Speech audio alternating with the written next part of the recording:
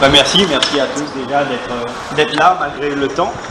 Et bah, merci à Vincent qui, euh, donne de son temps euh, et de sa personne pour, pour nous former et pour dans le bus, mais même bah, avec Denise et Vincent. Donc c'est vraiment un plaisir et, et je dois dire que j'ai vraiment, vraiment beaucoup appris. Et, et il reste encore tellement à apprendre, donc euh, je crois qu'un an, c'est pas trop. Et même pas assez. Et, euh, et merci à vous tous bah, de, m'écouter ce matin. Et euh, ça, ça peut, sembler à l'aise avec la parole comme ça, mais je peux dire qu'il y a un petit stress qui monte quand même. Et, donc, merci en tout cas. Donc, ce matin, bah, j'aimerais partager avec vous un, un thème. Et le thème de ce matin, c'est une vie de prière. Et euh, aborder ce thème dans qu'est-ce que la prière? La prière, c'est parler. La prière, c'est écouter Dieu nous parler. Et la prière aussi, c'est parfois des temps de silence où on ne dit rien, où l'on reçoit de Dieu. Et euh, je voudrais euh, commencer avec Matthieu 6, versets 5 à 13, dans lequel il est dit Quand vous priez, n'imitez pas ces hypocrites qui aiment à faire leur prière debout dans les synagogues et à l'angle des rues. Ils tiennent à être remarqués par tout le monde. Vraiment, je vous l'assure, leur récompense, ils l'ont d'ores et déjà reçue. Mais toi, quand tu veux prier, va dans ta pièce la plus retirée, verrouille ta porte et adresse ta prière à ton Père qui est là dans le lieu secret. Et ton Père qui voit dans ce lieu secret te le rendra. Dans vos prières, ne rabâchez pas des tas de paroles à la manière des païens. Ils s'imaginent qu'à force de paroles, Dieu les entendra. Ne, li- ne les imitez pas, car votre Père sait ce qu'il vous faut avant que vous le lui demandiez. Priez donc ainsi. Notre Père, toi qui es dans les cieux, que tu sois reconnu pour Dieu. Que ton règne vienne, que ta volonté soit faite, et tout cela sur la terre comme au ciel. Donne-nous aujourd'hui le pain dont nous avons besoin. Pardonne-nous nos torts envers toi, comme nous pardonnons nous-mêmes les torts des autres envers nous. Garde-nous de céder à la tentation, et surtout délivre-nous du diable, car c'est à toi qu'appartiennent le règne, la puissance et la gloire à jamais. Alors, euh, moi, quand, j'ai lu, quand j'ai lu ce passage, je me suis dit, comment avoir une vie de prière intense, une vie de prière forte, où Dieu peut vraiment nous transformer intérieurement dans ce temps de prière. Avoir une intimité avec Dieu, avoir un cœur à cœur, pour apprendre à écouter et à ne pas multiplier, comme il est dit, de vaines paroles. Alors souvent, bah, c'est très simple, on va dire, de, prier, de, de rentrer dans sa chambre et de dire euh, Seigneur, Seigneur, s'il te plaît, s'il te plaît, j'ai besoin, je, peux-tu me donner? Et, euh, et euh, on prie, on prie, on s'adresse à Dieu, on parle à Dieu du moins. Et euh, souvent, il est facile de prier ou, de, démontrer une prière quand on est en groupe.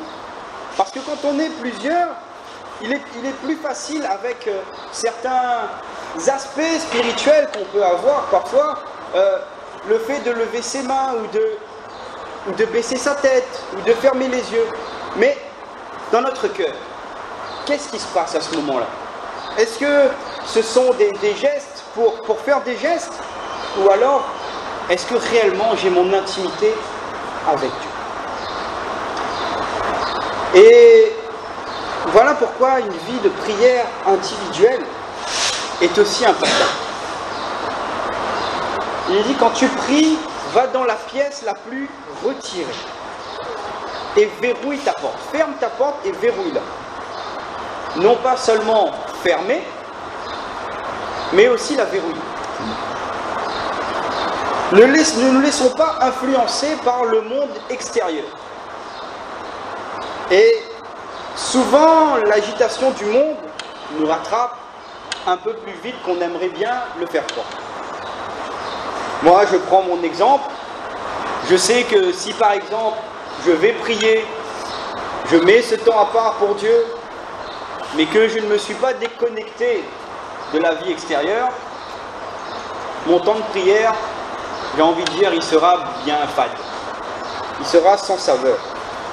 Parce que je me laisserai rattraper par le monde extérieur. Et euh, aujourd'hui, on ne prend plus le temps de prendre le temps. On est dans, dans la consommation. Et je dirais, pour prendre une image, qu'on est un peu sur un Dieu distributeur. Je mets une pièce, je demande et j'obtiens ma canette et je la bois et je suis bien. Mais dans nos moments de prière, Dieu, il n'est pas toujours un Dieu distributeur. Et nous allons aborder trois, trois axes dans la prière. Et le premier point, c'est retire-toi loin de l'agitation du monde. Alors, je me suis posé la question, pourquoi Jésus nous demande de nous retirer?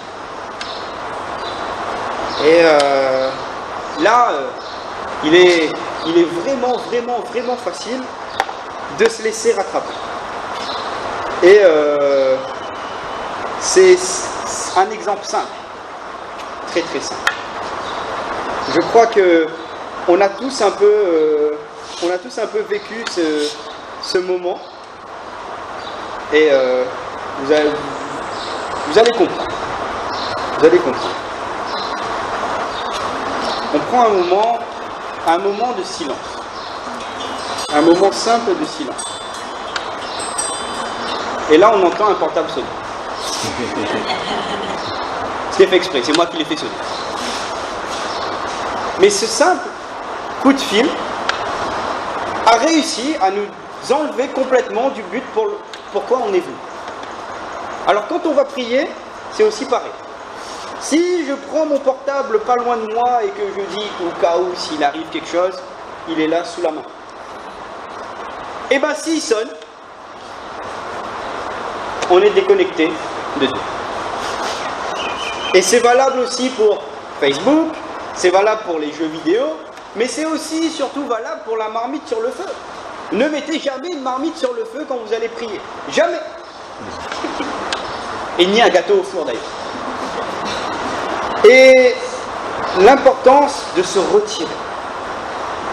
Entre dans ta chambre. La chambre physique. Quand tu pries, retire-toi. Va, va. Ça peut être ta chambre, ça peut être ton, ton, salon, ça peut être ta salle de bain, ne sais pas, mais ça, un endroit où tu es tranquille, où tu as ta relation toi et Dieu, un cœur à cœur avec Dieu. Il est incroyable de voir, de voir que si on ne se retire pas, eh ben on est rattrapé. Rattrapé. Il suffit qu'on ait un enfant qui crie, un voisin qui, qui crie, parce qu'on n'est pas, concentré dans ce moment de prière. Ah, combien de fois, combien de fois ça m'est arrivé à moi Combien de fois Je me dis, Seigneur, aujourd'hui je te donne du temps, je viens dans ta présence, je rentre dans la chambre, je me ferme, je prends ma Bible, je commence à prier, et puis j'entends ah, des bruits à côté, je fais, qu'est-ce qui se passe? Et au début, tu ouvres un œil, j'essaye de te replonger, mais malheureusement, la connexion là, elle est perdue. Parce que tu t'es laissé distraire. Et je crois que l'importance de cette pièce physique, où l'on se retire pour prier, a toute son importance. Choisir un moment de prière favorable, donc pour exemple, ça peut être tôt le matin parce que la situation est plus propice. C'est vrai qu'il y a moins de bruit le matin, on est moins dérangé. ou ça peut être le soir, mais maintenant ça peut être à n'importe quel moment dans votre journée où l'emploi du temps le permet et où vous pouvez être tranquille. Choisir ces moments, c'est important. Et donner du temps. Donner du temps et se retirer dans la présence de Dieu. Ce qui m'amène au deuxième point. Au moment où, euh, encore une fois, il est dit entre dans ta chambre et ferme la porte, verrouille. Eh bien, on pourrait aussi le voir comme fermer la porte spirituelle de nos pensées. Fermer toutes nos pensées à tous les, afflux, les afflux, oui, ça se dit, extérieurs qui puissent arriver.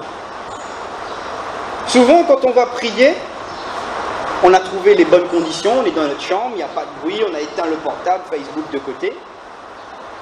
Mais on a toujours dans notre tête, dans notre pensée, dans notre mémoire, un fait qui vient interrompre ça. Ça peut être le capot de la voiture, par exemple. Ne peut pas rappeler de mauvais souvenirs, Vincent, mais ça, ça, peut, ça peut être.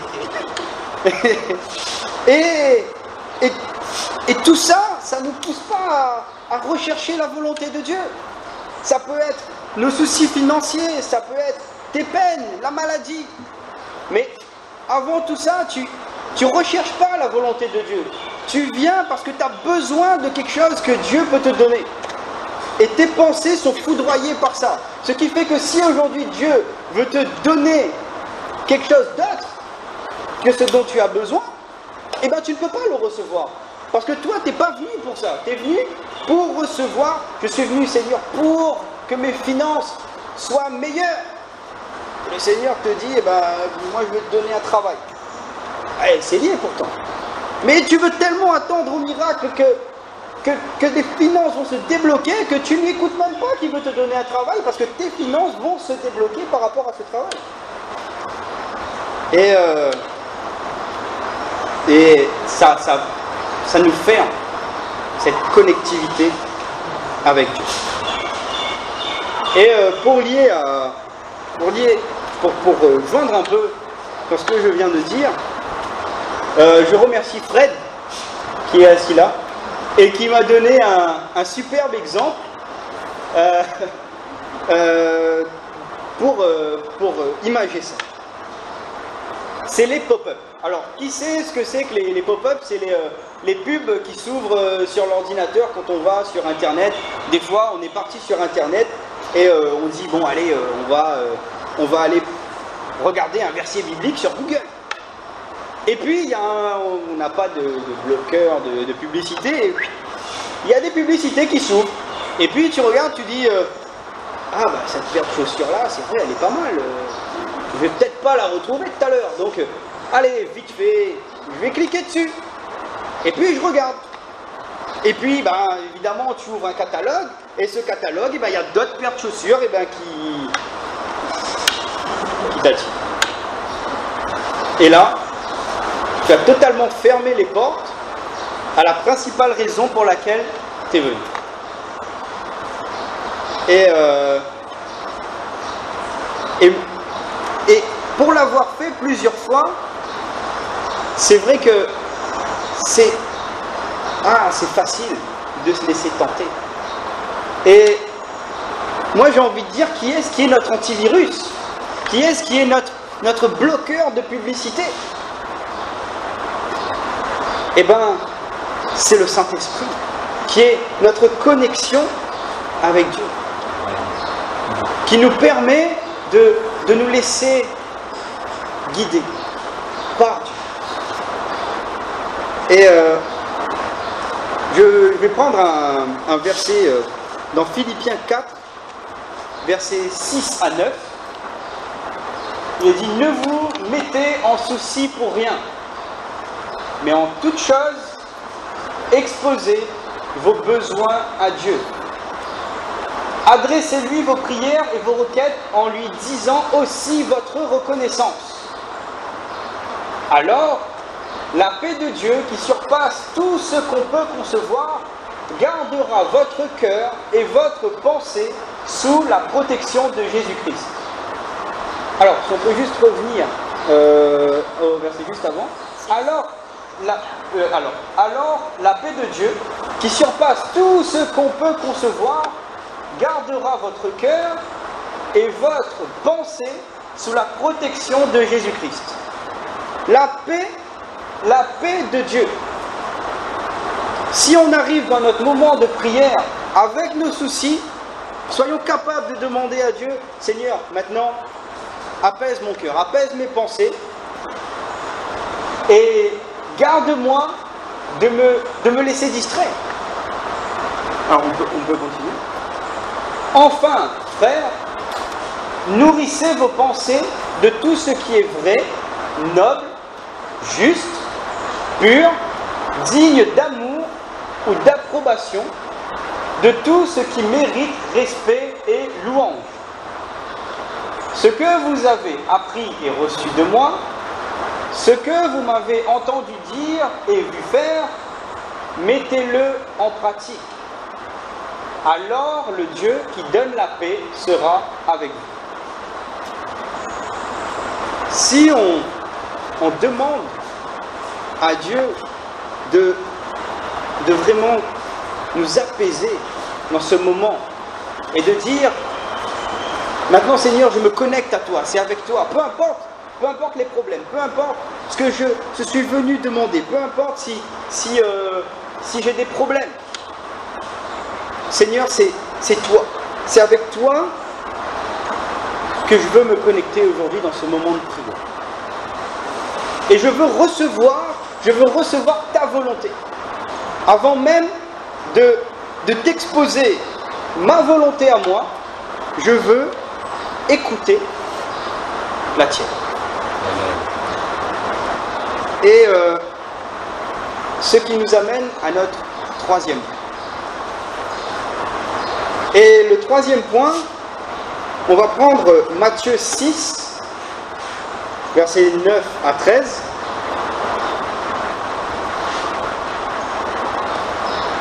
Et là, Jésus nous apprend à prier.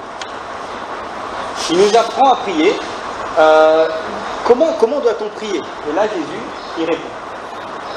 Priez donc ainsi. Notre Père, toi qui es dans les cieux, que tu sois reconnu pour Dieu.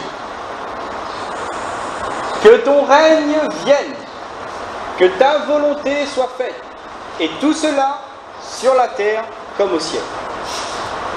Donne-nous aujourd'hui le pain dont nous avons besoin. Pardonne-nous nos torts envers toi, comme nous pardonnons nous-mêmes les torts des autres envers nous. Garde-nous de céder à la tentation et surtout délivre-nous du diable, car car à toi appartiennent le règne et la puissance et la gloire à jamais. Vous savez, j'ai récité tellement de fois cette prière, tellement de fois.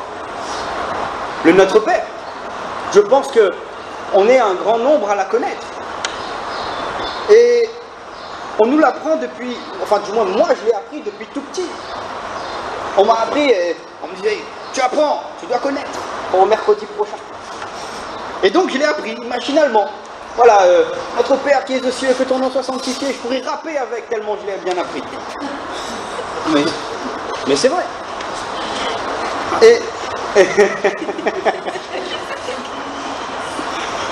cette habitude de le dire par cœur m'a longtemps, longtemps, longtemps empêché de comprendre le sens de cette prière et l'ordre que Jésus a choisi de mettre dans cette prière.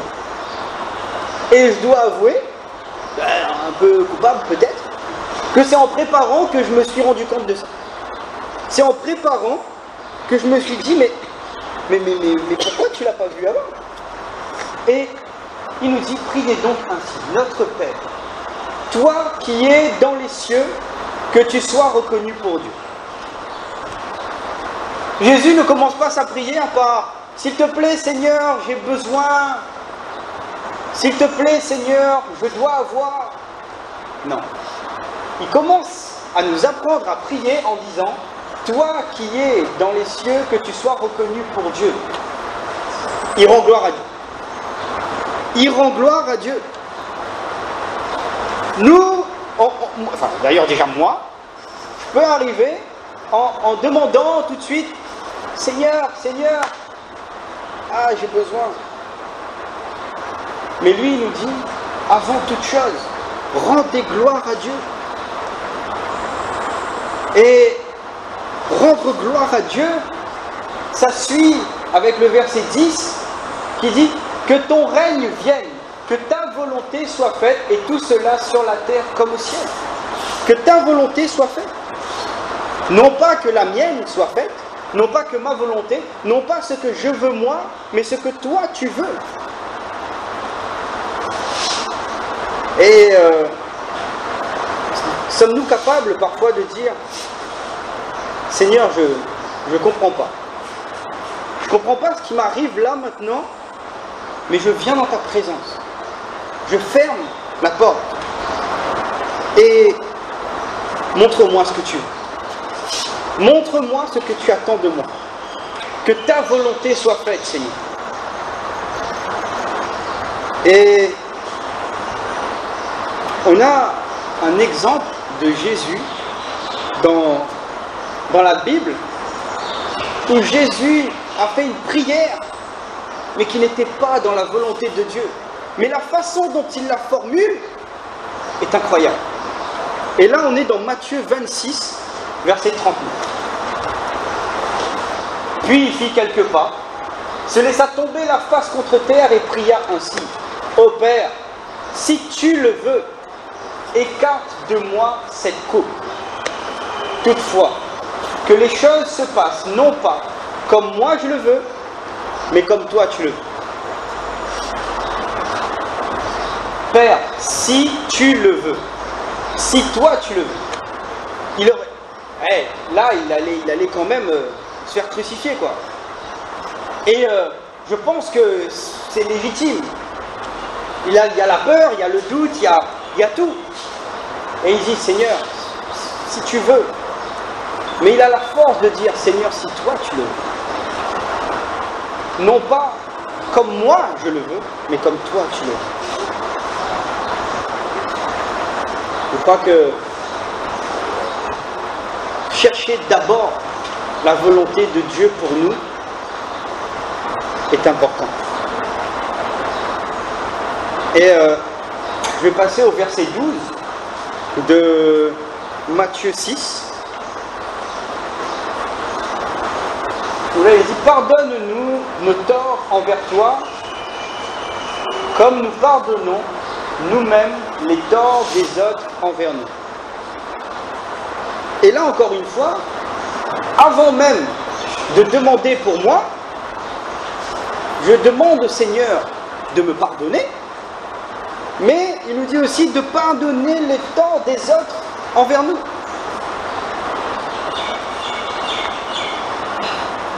Ah, la suite, la suite est logique. Si je n'accepte pas, moi, de mon côté, de libérer le pardon, je peux rentrer dans ma chambre, je peux fermer la porte, mais mes pensées ou mon cœur sera accablé par ce non-pardon. Parce que je n'ai pas réussi à pardonner mon temps de prière et donc tout ce qui reflète dans mes pensées sera aussi accablé par ce non-pardon. Il est, il est tellement important de venir dans la présence de Dieu en paix. Et venir dans la présence de Dieu en paix, c'est aussi se libérer du poids du non-pardon. Et ne pas retenir cette culpabilité. Et on va passer au verset 13, où là il est dit, garde-nous de céder à la tentation, et surtout, délivre-nous du diable. Et c'est seulement au dernier verset de cette prière que dans d'autres traductions, il y a délivre-nous du mal. C'est seulement dans ce dernier verset que il nous apprend, il nous dit, voilà, demandez maintenant de, vous délivrer de tout mal. Et ce n'est pas, ça n'est pas, le, n'est pas la, première, le premier verset, ça n'est pas le, comment dire, le sujet principal. Le sujet principal, c'est de rendre d'abord gloire à Dieu. Et enfin, pour finir, garde-nous de céder à la tentation. Et je crois que retirer quelque part de ces, priorités de prière, ce côté euh, Seigneur, euh, j'ai besoin, et de donner, de laisser Dieu nous, parler, écouter. Parce qu'il connaît, il connaît nos, besoins, il connaît, il sait ce dont on a besoin. On a simplement ensuite besoin de dire Seigneur, merci, je crois parce que je sais que je l'ai reçu. Et ça, on ne peut pas le recevoir si on est constamment venu pour, pour demander, demander, demander, demander. Et puis, les s'il te plaît passeront par les pourquoi, et les pourquoi passeront par les accusations. Seigneur, tu ne me donnes pas. Eh, pourtant, euh, je te suis, Seigneur. Pourtant, euh, j'essaye de faire ta volonté, pourtant je suis gentil, pourtant je ne suis pas méchant. Et pourquoi? Et là, on commence à accuser Dieu. Mais ce n'est pas sa volonté. Sa volonté première n'est pas de, nous dire, eh ben, je viens avec des tonnes de s'il te plaît, Seigneur.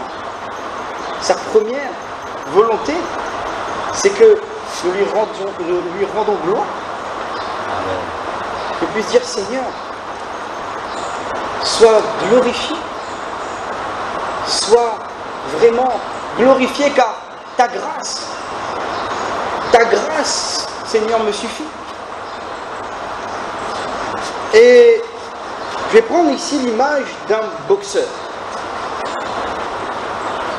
Dans un combat, le boxeur, il y va et il rend coup pour coup. Alors, j'ai fait un peu de boxe, au niveau très très amateur. Et quand on est sur le ring et qu'on va boxer, alors, tu as les très bons qui, peuvent réfléchir en même temps, moi je ne pouvais pas réfléchir en même temps. C'est-à-dire que j'allais et je devais euh, désinguer le gars en face de moi le plus vite possible. Et tu réfléchis pas. Il te met une droite, tu lui mets une gauche. Il te met un uppercut, tu lui mets un crochet. Bref. Et là, quand le, premier round a sonné, ting ting ting, et eh ben, tu, tu, vas dans ton coin comme ça, et là le coach te dit, il te dit, euh, bon écoute, moi je l'ai bien observé, et euh, il va toujours te mettre tel coup, tel coup, et puis euh, toi tu attends, faut que tu sois patient. Et puis quand il aura fait ses enchaînements, là tu comprendras, bam, tu vas rentrer, tu vas attaquer. Et là tu fais mouche. Évidemment, tu l'écoutes. Bon, des fois peut-être pas au premier round non plus, parce que c'est pas un charlot en face, mais, euh, mais au premier, mais sur ses conseils, pourquoi? Parce qu'il a une vue extérieure de la situation. Toi, tu es dans le, dans, le moment, dans le combat, tu n'as pas cette vue extérieure. Lui, il a une vue extérieure il va te dire, oh, toi, n'y va pas tête baissée. N'y va pas tête baissée. Fais comme ça, fais les choses de telle façon. Et là, tu remportes la victoire. Mais parce que tu n'es pas parti dans ce combat avec une idée du je vais faire comme ça, comme ça, comme ça, comme ça, parce que c'est la meilleure technique, mais parce que notre coach extérieur nous a dit, voilà ce que tu dois faire. Et moi j'aimerais dire, apprenons à faire confiance à notre coach. Et qui est notre coach? Eh bien Jésus. Apprenons à lui faire confiance, apprenons à, à l'écouter, même si on arrive dans nos moments de, prière, comme si on allait sur un ring pour désinguer tout là, eh bien apprenons simplement à dire Jésus, maintenant je t'écoute, montre-moi la technique, montre-moi ce que je dois faire, et de, me, de simplement me laisser porter par ses, par ses conseils. Et là, on pourra vraiment dire,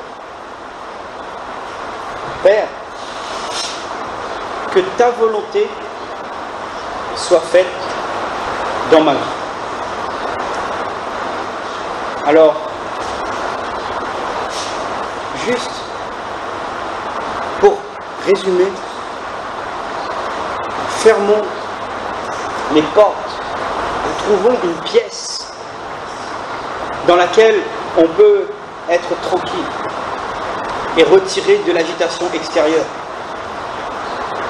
Fermons les portes de nos pensées sur ce qu'on aurait à faire ou sur le pardon que je ne donne pas à quelqu'un.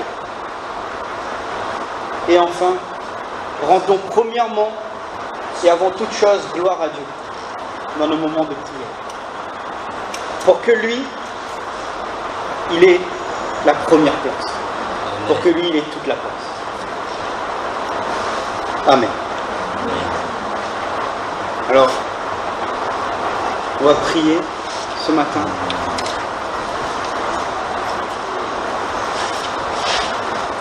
Seigneur Jésus, merci. Merci Seigneur pour ta grâce. Merci